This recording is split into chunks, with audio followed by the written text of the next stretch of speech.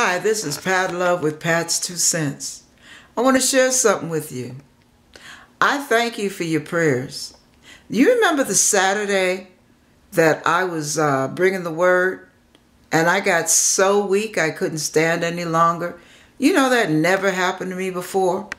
But in case any of you are dealing with tired issues, I'm sharing this for that reason.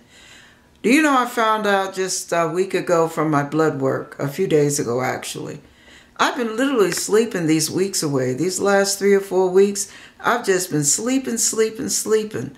And I, I couldn't figure out why I was so tired, why there was no energy. Well, it turns out the reason is my thyroid is low.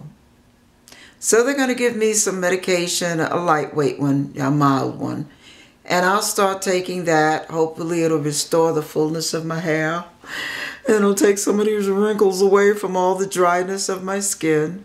And it'll give me energy so I can do more with my life in God's ministry than sitting around sleeping all day and all night. Anyway, and that's one of the reasons you haven't seen many videos. It's because I've been excessively tired.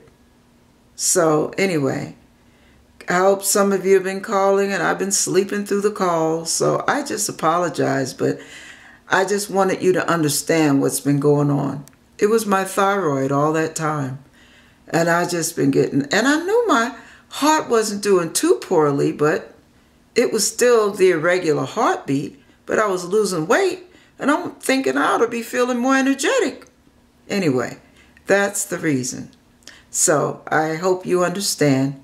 And God bless you for your prayers. Thank you so much for your love, your concern, and your prayers. God bless you.